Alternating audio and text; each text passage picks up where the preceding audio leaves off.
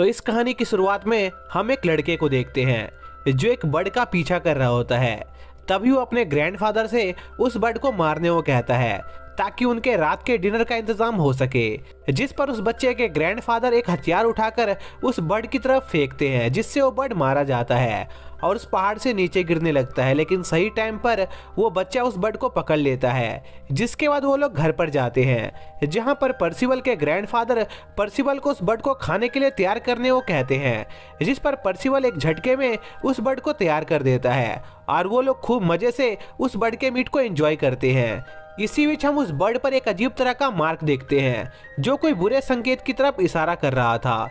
और खाना खाने के बाद परसिबल अपने ग्रैंडफादर के साथ ट्रेनिंग करने लग जाता है, जहाँ पर वो अपने ग्रैंडफादर से फाइट करता है, जहाँ पर परसिबल के ग्रैंडफादर काफ़ी मेहनत करने के बाद परसिबल को उस लड़ाई में हराने में कामयाब हो जाते हैं। पर दूसरी तरफ़ परसिबल को खुद पर बहुत ज़्यादा प्राउड महसूस हो रहा था, क्योंकि उसने इस बार अपने ग्रैंडफादर को काफ़ी अच्छी टक्कर दी थी, जिसके बाद परसिबल के ग्रैंडफादर वहाँ से बर्तन धोने के लिए निकल जाते हैं। पर दूसरी तरफ़ परसिवल अभी भी अपने उस फाइट को सेलिब्रेट कर रहा होता है। इसी बीच पर्सिबल के ग्रैंडफादर को लग रहा होता है कि वो कुछ भूल रहे हैं। तभी उन्हें याद आता है कि परसिवल का बर्थडे काफ़ी करीब आ गया है, जिस पर वो सब काम वाम छोड़कर परसिवल के पास जाते हैं, जो सुसु कर रहा था। तभी ग्रैंडफादर परसिवल से पूछते हैं कि कल उसका बर्थडे है, पर इसके बावजूद भी परसिवल अपने बर्थडे के लिए एक्साइटेड नहीं है, जिस पर परसिवल अपने ग्रैंडफादर से कहता है कि उसे पता है कि कल उसका बर्थडे है, और वो कल 16 साल का हो जाएगा, जिसका मतलब यह था कि वो कल से बियर पी सकता है, और परसिवल के ऐसे माइंडसेट को देखकर उसके ग्रैंडफादर बहुत हैरान होते हैं। तभी पर्सिवल के ग्रैंडफादर उसे एक हिल के टॉप पर ले जाते हैं। और उसे दुनिया घूमने को कहते हैं, ताकि परसिवल वन पीस को ढूंढ सके, जिसे परसिवल पूरी दुनिया में बहुत फ़ेमस हो जाएगा। पर परसिवल को इन सब कामों में कोई इंटरेस्ट नहीं होता है। वो बस अपनी नॉर्मल लाइफ से खुश था, जिसके बाद रात में डिनर करते समय परसिवल के ग्रैंडफादर परसिवल को उसके फादर के बारे में बताते हैं, जो 16 साल की एज में ही एक एडवेंचर बन गए थे। इसलिए वो परसिवल को भी एक एडवेंचर बनने को कहते हैं। पर परसिवल अपने ग्रैंडफादर की बातों को रिएक्ट कर देता है, क्योंकि वो बस अपनी पूरी लाइफ अपने ग्रैंडफादर के साथ बिताना चाहता था। फिर डिनर करने के बाद परसिवल माउंटेन की चोटी पर जाता है। और तारों को देखने लगता है और सोचने लगता है कि क्या उसे, उसके ग्रैंडफादर की बात मानकर दुनिया घूमना चाहिए? या नहीं। लेकिन फिर वो अपने उस प्लान को ड्रॉप कर देता है, क्योंकि वो अपनी इस लाइफ से खुश था, क्योंकि उसके ग्रैंडफादर उसके साथ थे और ऐसे ही प्रिंसिपल को नींद आ जाती है। और जब प्रिंसिपल की नींद खुलती है तो उसे एक आदमी दिखाई देता है, जो एक उड़ती हुई बोट पर सवार था। तभी वो नाइट परसिवल से वर्गिस नाम के एक आदमी के बारे में पूछता है, जो अपने ग्रैंड सन के साथ रहता था, जिस पर परसिवल उस आदमी से कहता है कि वो उसके ग्रैंडफादर हैं। लेकिन आपको उनसे क्या काम है? जिस पर वो नाइट परसिवल को बताता है कि वो वर्गिस का दोस्त है, क्योंकि वो दोनों एक ही हॉलीनाइट ग्रुप में थे। जिस पर परसिवल बिना ज़्यादा सवाल जवाब किए उस आदमी को उसके ग्रैंडफादर की लोकेशन के बारे में बता देता है, जो सब्ज़ियाँ काट रहे थे। जिस पर वो नाइट वहाँ के लिए निकल जाता है और परसिवल उस उड़ती हुई बोर्ड को चेक करने लगता है। लेकिन कुछ देर बाद परसिवल को एहसास होता है कि उसने कोई गड़बड़ कर दी है, क्योंकि उसे उस नाइट पर शक होने लगा था, क्योंकि वो नाइट आर्मर और हथियार के साथ आया था। इसलिए वो जल्दी से अपने ग्रैंडफादर की मदद करने के लिए जाता है। इसी बीच हम वर्गीस को देखते हैं, जो सब्ज़ियाँ काट रहा होता है। तभी वो नाइट वर्गीस को आवाज़ लगाता है और उस पर एक अटैक करता है। पर वर्गी सही टाइम पर उस अटैक को डॉज कर लेता है और उस नाइट से लड़ने लगता है, जहाँ पर वो दोनों एक दूसरे को बराबरी की टक्कर दे रहे होते हैं। लेकिन कुछ देर बाद वो नाइट वर्गीस पर भारी पड़ने लग जाता है और उसे बुरी तरह घायल कर देता है। लेकिन तभी वहाँ पर परसिवल पहुँच जाता है और उस नाइट को उसके ग्रैंडफादर से दूर रहने को कहता है। पर उस नाइट को परसिवल की बातों से कोई फ़र्क नहीं पड़ता है, और वो परसिवल पर एक अटैक करता है, और उसे कहता है कि वो पहले उसके ग्रैंडफादर को जान से मारेगा, फिर अगली बारी उसकी है, जो सुनकर परसिवल को गुस्सा आ जाता है, और वो उस माउंटेन के टुकड़े से उस नाइट पर अटैक करता है। पर वो नाइट उस रॉक को बड़ी आसानी से रोक लेता है, जो देखकर पर्सिबल उस नाइट पर बड़े रॉक से अटैक करता है, पर उससे भी उस नाइट को कुछ नहीं होता है। तभी उस नाइट को वर्गिस पीछे से पकड़ लेता है और प्रिंसिपल को वहाँ से भागने को कहता है, पर प्रिंसिपल अपने ग्रैंडफादर को यहाँ मरने के लिए छोड़कर नहीं जाना चाहता था। लेकिन तभी वो नाइट वर्गीस पर कई सारे अटैक करता है, जिससे वर्गीस की मरने जैसी हालत हो जाती है। साथ ही वो परसिवल पर भी एक जानलेवा हमला करता है, पर परसिवल अभी भी अपने पैरों पर खड़ा होता है और उस नाइट को एक पंच मारता है, पर उससे उस नाइट को कुछ नहीं होता है, क्योंकि परसिवल बहुत कमज़ोर हो गया था। तभी वो नाइट परसिवल पर एक अटैक करके उसे दूर उड़ा देता है, जिससे परसिवल कुछ ही देर में मरने वाला होता है। तभी वर्गिस उस नाइट से पूछता है कि आखिर वो इतने लंबे समय बाद उन्हें मारने क्यों आया है? जिस पर वो नाइट बताता है कि कुछ दिनों पहले एक भविष्यवाणी हुई थी कि चार अपोकलिस नाइट किंग ऑर्थर के डाउनफॉल का कारण बनेंगे। लेकिन उन्हें बात पता नहीं थी कि वो चार नाइट कौन से हैं। इसलिए वो सभी नाइट्स को मार रहे हैं। ताकि कोई भी नाइट ज़िंदा न बचे। जिसके बाद उस नाइट को लगता है कि वर्गिस और परसिविल को उसने इतना ज़्यादा घायल कर दिया है कि वो ज़िंदा नहीं बच पाएँगे। इसलिए वो वहाँ से चला जाता है। और उस नाइट के जाने के बाद हम देखते हैं कि परसिवल वापस से ठीक हो गया था और उसके सारे घाव भी भर गए थे, जो देखकर वर्गिस को कुछ समझ नहीं आता है। तभी परसिवल अपने ग्रैंडफादर से माफ़ी मांगने लगता है, क्योंकि उनकी यह हालत उसी की वजह से हुई थी, जिस पर वर्गिस परसिवल को उदास होने से मना करते हैं। क्योंकि यही उनकी किस्मत थी। तभी वर्गिस परसिवल को बताते हैं कि उस नाइट का नाम आयरन साइड है और वो परसिवल का फादर है, जो सुनकर परसिवल बहुत हैरान होता है, क्योंकि वर्गिस ने परसिवल को बताया था कि उसके फादर की एक एक्सीडेंट में डेथ हो गई थी, जिस पर वर्गिस परसिवल से कहता है कि अगर परसिवल पूरी सच्चाई का पता लगाना चाहता है तो उसे आयरन शॉट को ढूंढना होगा और नाइट्स को बचाना होगा, जिसे वो मारने वाला है। तभी वर्गिस को खून की उल्टी होने लगती है, क्योंकि उसके पास ज़्यादा समय नहीं बचा था, जिसके कुछ देर बाद वर्गिस की डेथ हो जाती है। और परसिवल अपने ग्रैंडफादर को दफनाकर वापिस से अपने टूटे हुए घर में कुछ ढूँढने लगता है। तभी उसे एक बॉक्स दिखाई देता है, जिसमें कुछ कपड़े थे, जो वर्गिस ने परसिवल के एडवेंचर पर जाने के लिए रखे थे, जिस पर परसिवल उस ड्रेस को पहन लेता है और अपने ग्रैंडफादर के कब्र से एक आखिरी बार अलविदा लेकर वहाँ से निकल जाता है, जिसके बाद परसिवल उस माउंटेन से नीचे उतरने लगता है। पर काफ़ी देर उतरने के बाद भी वो नीचे नहीं पहुँच पा रहा था, पर परसिवल हार नहीं मानता है। और नीचे उतरना जारी रखता है। और कुछ देर के कोशिश के बाद वो फाइनली नीचे उतरने में कामयाब हो जाता है, जहाँ पर उसे एक जीव दिखाई देता है। और परसिवल पहली बार किसी ऐसे जीव को देख रहा था, इसलिए वो उसे बात करने की कोशिश करता है और उसे अपने बारे में बताने लगता है। लेकिन उस जीव को परसिवल की कोई बात समझ नहीं आ रही थी। तभी परसिवल उस जीव से पूछता है कि क्या वो किसी ऐसी जगह के बारे में जानता है, जहाँ पर लोग रहते हों? पर वो जीव परसिवल को इग्नोर मारकर वहाँ से जाने लगता है, जिस पर परसिवल उस जीव का पीछा करने लगता है। जो देखकर वो जीव वहाँ से भागने लगता है। इसी बीच परसिवल को फाइनली कुछ लोग दिखाई देते हैं, जो कुछ मैजिक परफॉर्म करने की कोशिश कर रहे थे, जहाँ पर कैट्स हवा में बिना आग के पेपर जला रहा होता है। इसलिए कैट्स अपने साथी से भी इसकी प्रैक्टिस करने को कहता है, पर कैट्स का साथी इसके लिए मना कर देता है, क्योंकि कोई उन्हें नहीं देख रहा था। तभी वहाँ पर परसिवल आ जाता है, जो उन लोगों के मैजिक ट्रिक को देखकर बहुत हैरान था। तभी पर्सिवल उन्हें वो मैजिक दोबारा परफॉर्म करने को कहता है, जिस पर डैनी मैजिक परफॉर्म करके दिखाने के बदले परसिवल से कुछ पैसे माँगता है, पर परसिवल अपनी लाइफ में पहली बार पैसों के बारे में सुन रहा था। इसलिए उसे समझ नहीं आ रहा था कि आखिर डैनी किस बारे में बात कर रहा है। जो देखकर डैनी को लगता है कि परसिवल उसे बेवकूफ़ बनाने की कोशिश कर रहा है, इसलिए वह उसे मैजिक दिखाने को तैयार हो जाता है और परसिवल को हवा में उड़ाकर वहाँ से भाग जाता है, जिस पर परसिवल नीचे उतरने की कोशिश करता है। पर वह ऐसा नहीं कर पाता है, जिस पर डैनी के साथी डैनी को डांटने लगते हैं, क्योंकि डैनी एक बच्चे को परेशान कर रहा था। था। लेकिन तभी वहाँ पर उनके सामने परसिवल बहुत तेज़ी के साथ आ जाता है। और परसिवल की ऐसी स्पीड देखकर वो लोग बहुत हैरान होते हैं। और डैनी परसिवल से उसके पहले के बिहेवियर के लिए माफ़ी मांगने लगता है। और परसिवल से पूछता है कि आखिर वो ट्रैवल क्यों कर रहा है? जिस पर परसिवल बताता है कि वो आयरन साइड नाम के एक हॉली नाइट को ढूंढ रहा है, क्योंकि उसने उसके ग्रैंडफादर को जान से मार दिया था। जिस पर वो लोग परसिवल से पूछते हैं कि क्या वो उस हॉली नाइट से अपना बदला लेना चाहता है?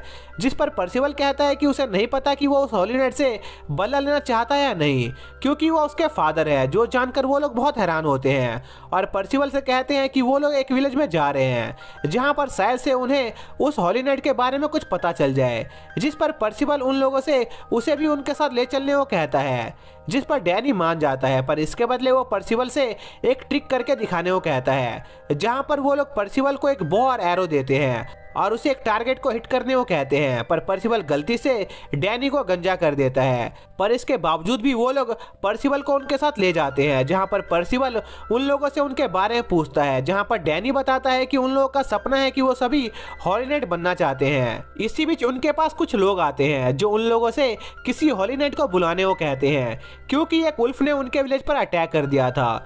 जो सुनकर डैनी उनसे कहता है कि उन्हें एक छोटे से उल्फ के लिए किसी हॉलीनेट की ज़रूरत नहीं है, क्योंकि वो खुद उसे संभाल लेगा। और बदले में वो उन विलेज के लोगों से बस खाने और रहने के लिए कुछ जगह माँगता है, जिस पर वो गाँव वाले तैयार हो जाते हैं। और डैनी अपने साथियों के साथ मिलकर उस उल्फ से निपटने जाता है, पर वो उल्फ बहुत ज़्यादा बड़ा होता है, जिसे देखकर वो लोग वहाँ से भागने लगते हैं और हॉलीनेट को बुलाने के बारे में सोचने लगते हैं। लेकिन तभी पर्सिबल सभी लोगों को बचाने के लिए उस वुल्फ से लड़ने का फैसला करता है और उस पर कुछ तीरों से अटैक करने लगता है।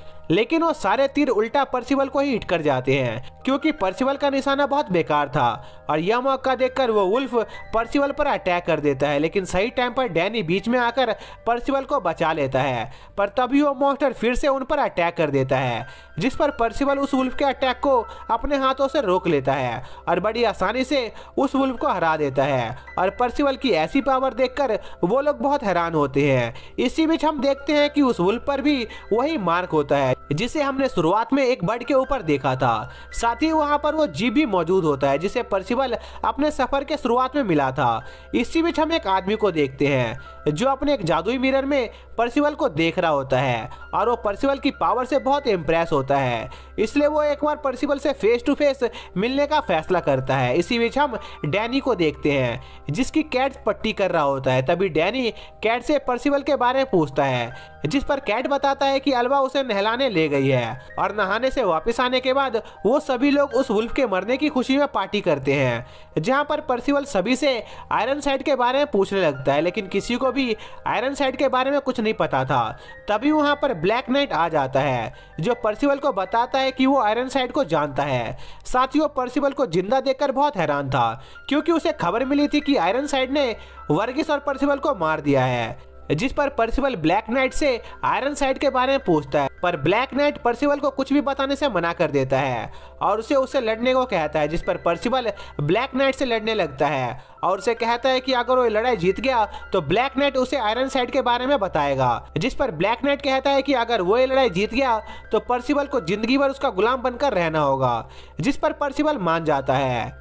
और उनके बीच लड़ाई शुरू हो जाती है, जहाँ पर उस ब्लैक नाइट पर, पर्सिवल के अटैक का कोई असर नहीं हो रहा था। तभी वो ब्लैक नाइट पर्सिवल को पकड़ लेता है और उसे मैजिक यूज़ करने को कहता है। क्योंकि ब्लैक नाइट को मज़ा नहीं आ रहा था, जिस पर पर्सिवल कहता है कि उसे मैजिक यूज़ करना नहीं आता है। जो सुनकर ब्लैक नाइट को गुस्सा आ जाता है, क्योंकि उसका सारा मज़ा खराब हो गया था। इसलिए वो गुस्से में पर्सिवल को एक पंचिंग बैग की तरह यूज़ करने लगता है, जो उस विलेज के लोगों से देखा नहीं जाता है। लेकिन वो लोग इसमें कुछ नहीं कर सकते थे, क्योंकि वो उस ब्लैक नाइट का मुकाबला नहीं कर सकते थे। तभी एक लड़का पर्सिवल को उसका मैजिक पावर यूज़ करने को कहता है। जिस पर पर्सिबल की बॉडी चमकने लगती है और पेल काफ़ी दूर उड़ जाता है। जो देखकर पेल काफ़ी शौक था कि पर्सिबल मैजिक पावर कैसे यूज़ कर सकता है, क्योंकि पर्सिबल ने उसे कहा था कि वो मैजिक का इस्तेमाल नहीं कर सकता है। वहीं दूसरी तरफ़ पर्सिबल खुद भी अपने हाथों से निकल रही रोशनी को देखकर काफ़ी ज़्यादा घबरा जाता है, क्योंकि उसे लग रहा था कि उसके हाथों में आग लग गई है। इसलिए पर्सिबल उस आग को बुझाने की कोशिश करने लगता है, जिसमें पर्सिबल का हाथ गलती से पैल पर लग जाता है, जिससे पेल काफ़ी दूर जाकर गिरता है। जो देखकर पर्सिवल के दोस्त उसे समझाते हैं कि वो आग और कुछ नहीं पर्सिवल का ही मैजिक है, जिसका इस्तेमाल वो पेल से अपना रिवेंज लेने के लिए कर सकता था। जो सुनकर पर्सिवल वापस से थोड़ा सा शांत होता है, इसी बीच पेल वापस अपने पैरों पर खड़ा हो जाता है। और वो अब समझ गया था कि पर्सिबल के पास अब उसे लड़ने की ताकत आ चुकी है। इसलिए पेल थोड़ा सा सीरियस होने का फैसला करता है, क्योंकि उसे नहीं पता था कि आखिर पर्सिबल के पास किस टाइप का मैजिक मौजूद था, जिसके बाद पेल पर्सिबल पर अपने फायर बॉल से अटैक करता है, जिस पर पर्सिबल जम करके फेल के उस अटैक को डॉज कर लेता है। और पेल पर हमला करने की कोशिश करता है। पर तभी वो फायरबॉल वापस से पर्सिबल पर हमला करने आ जाता है और पर्सिबल के पीछे पड़ जाता है, क्योंकि पेल के पास उस फायरबॉल को फ्रीली कंट्रोल करने की ताकत मौजूद थी, जिस वजह से पर्सिबल को पेल पर हमला करने का कोई मौका नहीं मिल रहा था, क्योंकि पर्सिबल उस फायरबॉल से बचने में काफ़ी ज़्यादा बिज़ी हो गया था। तभी पर्सिबल को एक आइडिया आता है और वो तेज़ी से पेल के पीछे पहुँच जाता है, जिस पर पेल एक बार फिर से पर्सिबल पर अपने फायरबॉल से अटैक करता है। लेकिन इस बार पर्सिबल उस फायरबॉल को अपने मैजिक से डिस्ट्रॉय कर देता है, जिससे उस फायरबॉल के छह टुकड़े हो जाते हैं। पर तभी पेल अपने फायरबॉल के उन टुकड़ों का इस्तेमाल करके पर्सिबल पर हमला करता है, जिस पर पर्सिबल की बॉडी जलने लगती है। और पेल की फायरबॉल तब तक जलती रहती थी, जब तक कि उसका ऑपरेंट पूरी तरह से जलकर राख में न बदल जाए। जिस पर पेल पर्सिबल को हार मानकर उसके सामने सरेंडर करने को कहता है। पर इतनी बुरी हालत में होने के बावजूद भी पर्सिबल पेल के सामने सरेंडर करने से मना कर देता है और अपनी पूरी बॉडी को अपने मैजिक से कवर करके खुद को उस आग से जलने से बचाने की कोशिश करने लगता है। जो देखकर पेल पर्सिबल से काफ़ी ज़्यादा इम्प्रेस होता है, क्योंकि पर्सिबल को उसका मैजिक अनलॉक किए बस कुछ ही समय हुआ था, लेकिन इसके बावजूद भी पर्सिबल का उसके मैजिक के ऊपर काफ़ी ज़्यादा अच्छा कंट्रोल था। पर अब तक काफ़ी ज़्यादा देर हो चुकी थी। क्योंकि पेल की आग की वजह से पर्सिवल की बॉडी काफ़ी हद तक जल चुकी थी। इसलिए पेल पर्सिवल को एक आखिरी बार उसके सामने सरेंडर करने का ऑफ़र देता है, पर पर्सिवल पेल के उस ऑफ़र को रिजेक्ट कर देता है और अपनी जिद पर अड़ा रहता है। तभी हम देखते हैं कि पर्सिवल अपने मैजिक की मदद से अपने छोटे छोटे मिनिएचर फॉर्म में बनकर उनसे पेल पर हमला करवा देता है और पर्सिवल के छोटी कॉपी छोटे होने के बावजूद भी काफ़ी ज़्यादा पावरफुल थी, जो पेल को ओवर पावर करके उससे उसके मैजिक को डीएक्टिवेट करवा देते हैं, जिससे पर्सिबल उस आग से आज़ाद हो जाता है। पर क्योंकि पर्सिबल की बॉडी पेल की आग की वजह से काफ़ी ज़्यादा जल गई थी, इसलिए पेल को यकीन था कि पर्सिबल ज़रूर मारा जाएगा।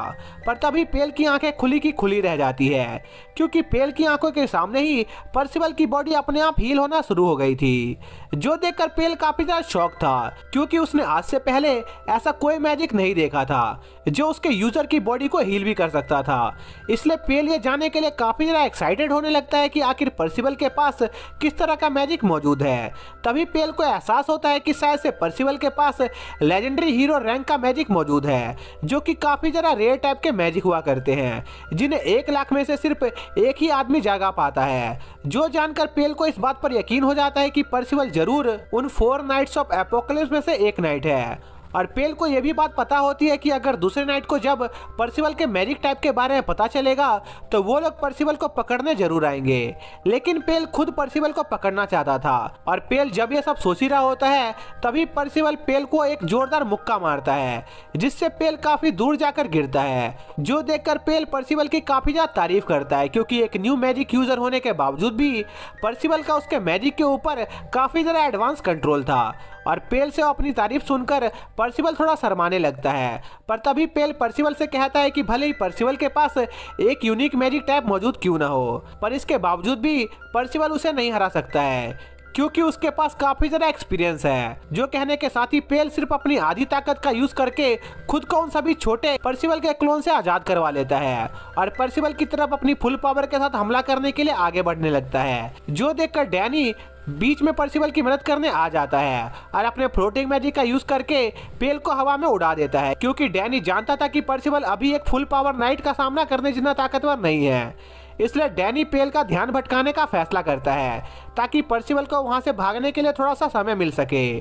पर पर्सिबल वहाँ से भागने से साफ़ इनकार कर देता है, क्योंकि पर्सिबल पेल से आयरन साइड का पता पूछना चाहता था। इसी बीच पेल का दिमाग खराब होने लगता है और वो अपनी काफ़ी सारी पावर को एक साथ रिलीज़ कर देता है, जिससे वहाँ पर एक बड़ा फायरबॉल क्रिएट हो जाता है। और डैनी उस अटैक से घायल हो जाता है, जो देखकर पेल को थोड़ा दुख होता है, क्योंकि वो एक ईमानदार नाइट था, जो आम लोगों को चोट नहीं पहुंचाता था। लेकिन डैनी ने उसके और पर्सिबल की लड़ाई के बीच में आकर काफ़ी बड़ी गलती कर दी थी। इसलिए उसके पास डैनी पर अटैक करने के अलावा और कोई चारा नहीं था, जिसके बाद पेल डैनी और पर्सिबल को मारने के लिए उनकी तरफ़ बढ़ने लगता है। पर तभी उनके बीच वही क्रिएचर आ जाता है, जिसे पर्सिबल की मुलाकात यहाँ आने से पहले हुई थी। और उस क्रिएचर को वहाँ पर देखकर पेल भी थोड़ा कंफ्यूज हो जाता है।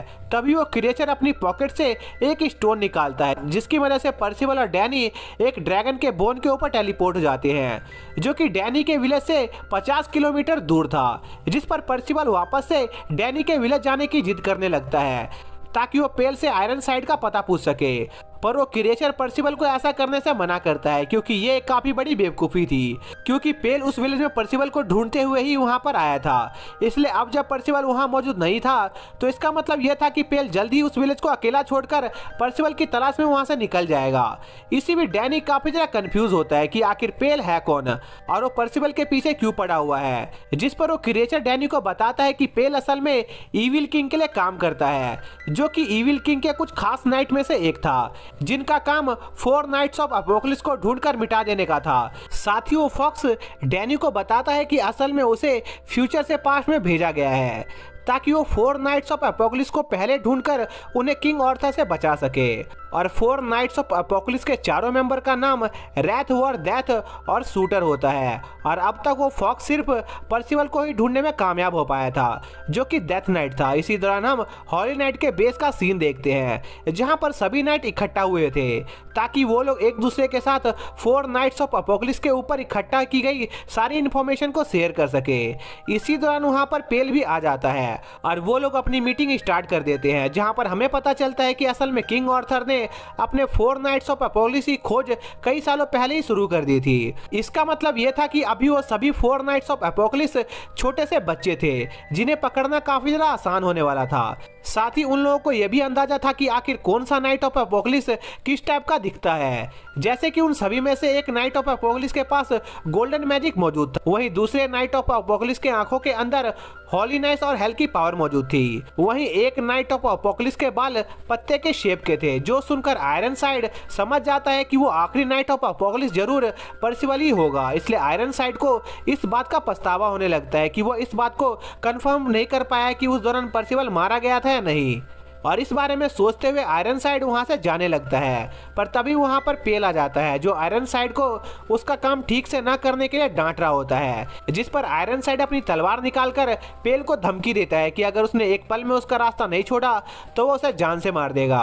पर पेल को आयरन साइड की धमकी से कोई डर नहीं लगता है, जिस पर आयरन साइड पेल को उसके इस काम को पूरा करने को कहकर वहाँ से जाने लगता है, जिस पर पेल परसिबल को जान से मारने से मना कर देता है और आयरन साइड को आइडिया देता है कि उन दोनों को एक साथ मिलकर परसिबल को ट्रेन करना चाहिए, क्योंकि परसिबल के अंदर काफ़ी ज़्यादा टैलेंट मौजूद है, जिससे पेल वेस्ट होने देना नहीं चाहता था।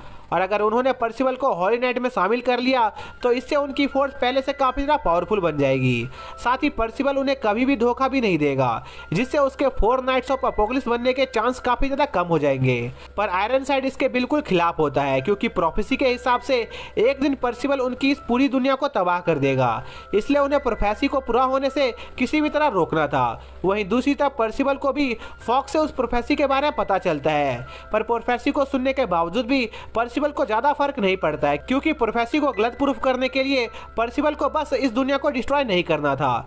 पर फॉक्स को पता था कि प्रोफेसी को इतनी आसानी से चेंज नहीं किया जा सकता है। इसलिए वो पर्सिबल को उसके साथ चलने को कहता है, पर पर्सिबल उस फॉक्स के साथ जाना नहीं चाहता था, क्योंकि वो आयरन साइड को ढूंढना चाहता था, जिस पर वो फॉक्स पर्सिबल को बताता है कि आयरन साइड और दूसरे सभी नाइट्स कैमलोट में मौजूद है, जो सुनकर डैनी को लगता है कि वो फॉक्स झूठ बोल रहा है, क्योंकि कैमलोट 16 साल पहले डिस्ट्रॉय हो गया था, जिस पर वो फॉक्स कहता है कि उनकी बात पूरी तरह से गलत नहीं है, क्योंकि कैमलेट 16 साल पहले हुई लड़ाई के बाद से एक अलग ही जगह पर एग्जिस्ट करता था, जहाँ पर जाने के लिए उन्हें पहले लियोनस किंगडम से गुजरना था, और लियोनस किंगडम का नाम सुनते ही पर्सिवल एकदम से उस फॉक के साथ जाने को तैयार हो जाता है, और वो लोग अपनी जर्नी स्टार्ट कर देते हैं, जहाँ पर रास्ते में पर्सिवल को भूख लगने लगती है, इसलिए वो रुककर किसी चीज़ का शिकार करने का फैसला करता है।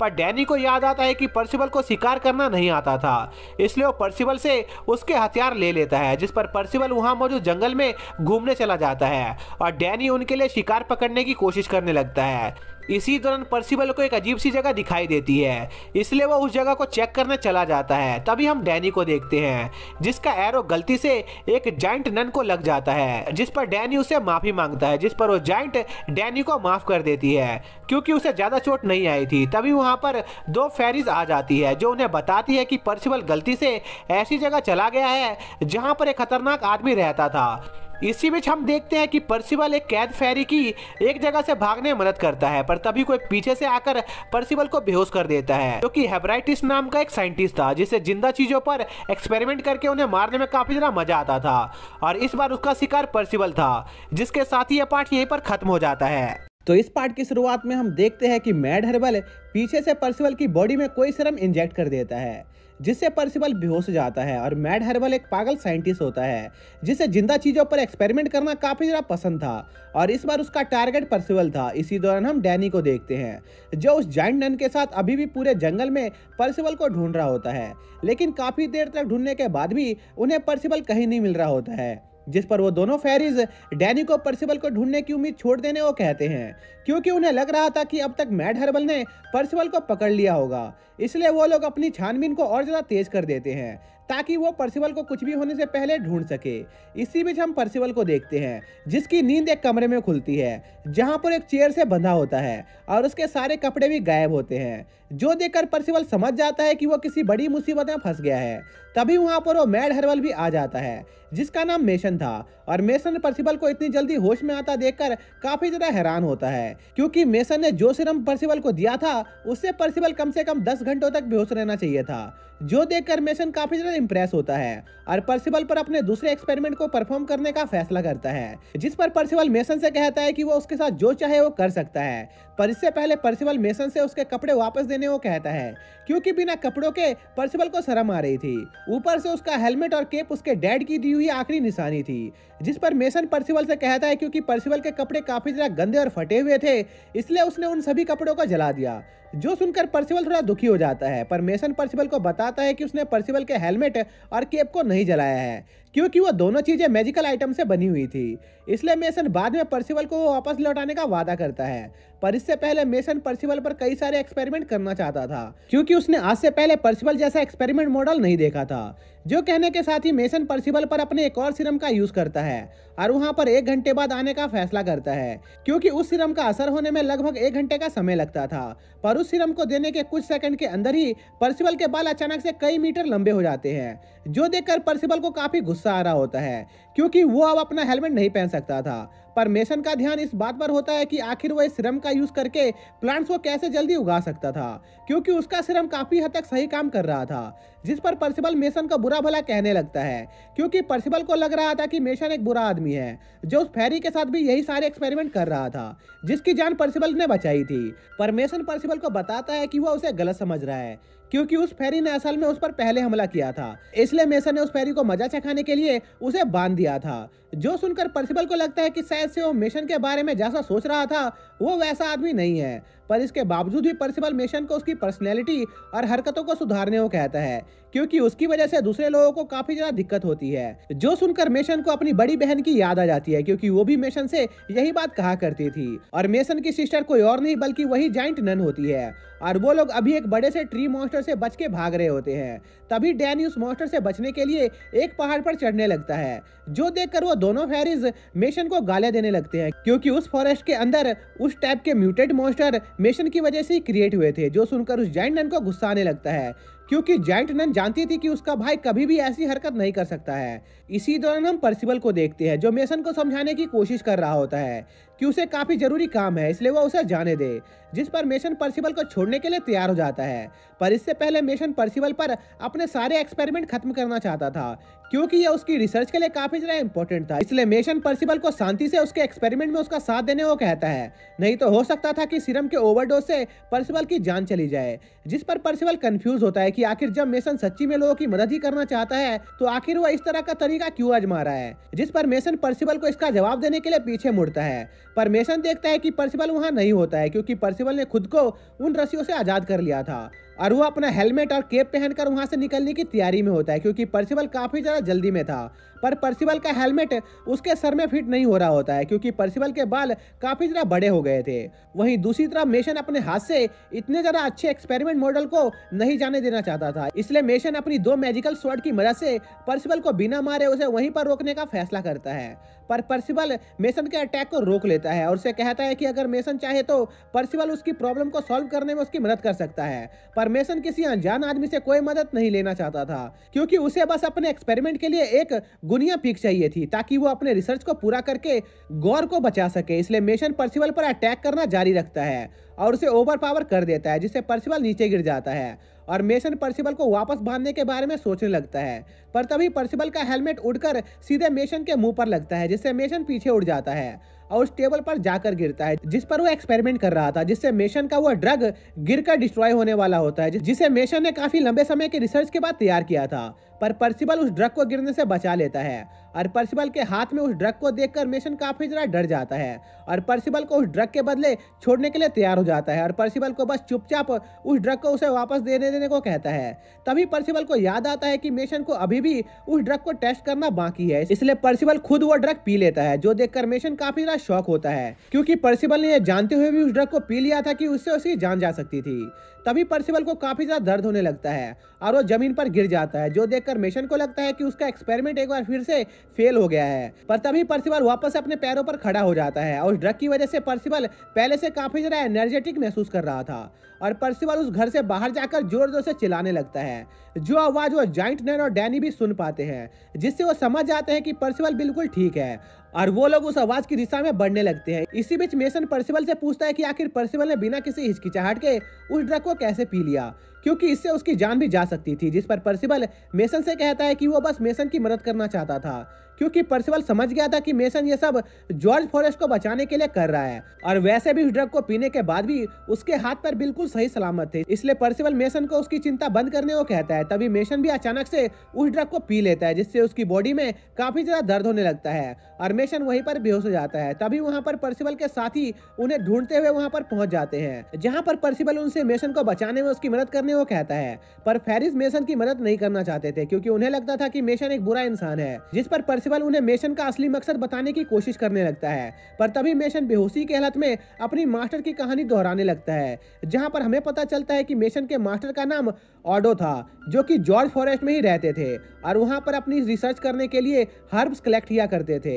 इसी दौरान ऑडो की मुलाकात कुछ फेरिस से होती है, जिनकी साथी बीमार थी, जिस पर ऑडो उन फेरिस की मदद करता है और उनके साथ ही वहाँ पर रहना शुरू कर देता है। जिस दौरान ऑडो की मुलाकात एक जाइंट लड़की से होती है, जो अपने बच्चों के साथ उस फॉरेस्ट में रहती थी, जिस पर ऑडो उस जाइंट के बच्चों को अपने साथ पालने लगता है और उन्हें मेडिसिन के बारे में सिखाता है। लेकिन इसके कुछ सालों बाद ऑडो अचानक से कहीं पर गायब हो जाता है, जिसके बाद ऑडो की मुलाकात किसी से नहीं होती है। इसलिए मेसन इस फॉरेस्ट को बचाना चाहता था, क्योंकि यह फॉरेस्ट उसके मास्टर की आखिरी निशानी थी। तभी मेशन वापस से होश में आ जाता है और जल्दी से अपने ड्रग को पूरे फॉरेस्ट में फैलाकर उस फॉरेस्ट को बचाने के बारे में सोचने लगता है। इसी दौरान हम उसी फेरी को देखते हैं, जिसे परसिबल ने आज़ाद किया था, जो ऑडो नाम के मॉन्स्टर की मदद से उस फॉरेस्ट को तबाह करके मेसन से अपना बदला लेना चाहती थी। इसी दौरान काफ़ी सारे फेरीज एक साथ मिलकर मेशन पर पत्थरों से हमला करने लगते हैं, जिस पर परसिबल उन पत्थरों को वापस उन फेरीज पर फेंक कर उन्हें समझाने की कोशिश करता है कि मेशन उनकी मदद करने की कोशिश कर रहा है। पर इससे पहले कि वो लोग उन फेरीज को समझा पाते,